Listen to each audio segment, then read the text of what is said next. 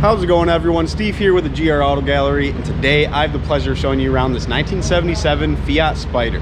First off, we're gonna give you guys a nice walk around video, that way you can see what the car looks like. And I'm gonna pull it up on the lift, to show you the underside so you can see exhaust, frame, suspension, stuff like that. And I'm gonna walk around with you guys, kind of go over the overall condition of the Spider and then show you some cool features.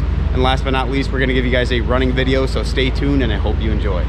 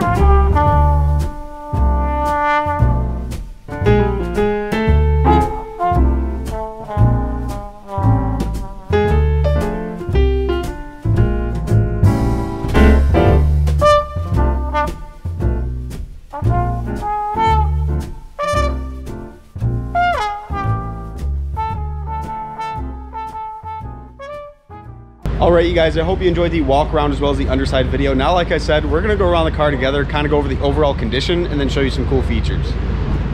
So overall, the Spider sells very, very well for the age. Uh, the white paint um, has a few imperfections here and there. If you can see right there uh, in the center of the hood, there's a little bubbling. Um, and then a couple small scratches here and there, but other than that, it does show well. Uh, the wheels overall are very clean. Tires are basically brand new, have a lot of life left on those. Uh, bumpers are also in nice condition. Um, as for the interior, looks like possibly some newer seats and then a carpet kit. These black leather vinyl seats are in very nice condition. No rips or anything. Uh, you do have a tonneau cover and then the black soft top is in very nice condition as well. Door cards, all there, no rips, anything like that. Good condition on those. Got your wood grain Fiat steering wheel, uh, crack on both sides. Looks like this one was filled with some epoxy or something. Uh, but other than that, it does show well. Manual transmission, 76,600 miles on the odometer.